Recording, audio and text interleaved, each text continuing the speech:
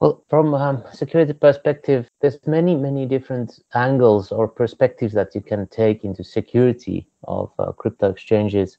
So if you look at like how crypto exchanges operate in general, is um, is an access gateway uh, between different parties where um, transactions are passed from one one way to another, and then then again exchanges may have access to fiat currencies as well for those people who have invested into cryptocurrency. So um, it's a kind of a middle player role in that sense. And um, security of crypto exchanges is not a simple matter to assess for an end user.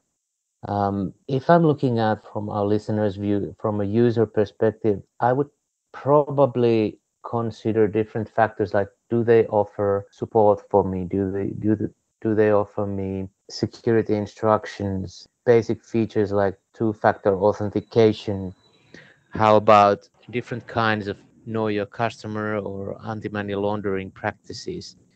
If the operator or the exchange in question has strong practice around these areas then it's a sign that okay this may be a company that you can trust one thing that the exchanges don't openly discuss usually is how how they operate and secure their wallets, mainly the hot and cold wallets, or somewhere in between. Um, so from user perspective, I would look at that user-facing um, practice, how well the exchange tries to secure the investor funds and assets.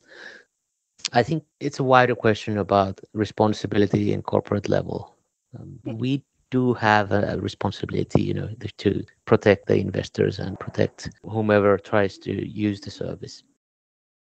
So, yes, so Pasi, thank you so much for your time today. I am aware that we are running into the 30 minute, uh, around the 30 minute mark. Um, thank you for your insights in sharing, you know, some of the similarities uh, from a threat perspective uh, between the traditional and the uh, crypto world. Again, thank you very much for your time today. Thanks, Jane. It's been my privilege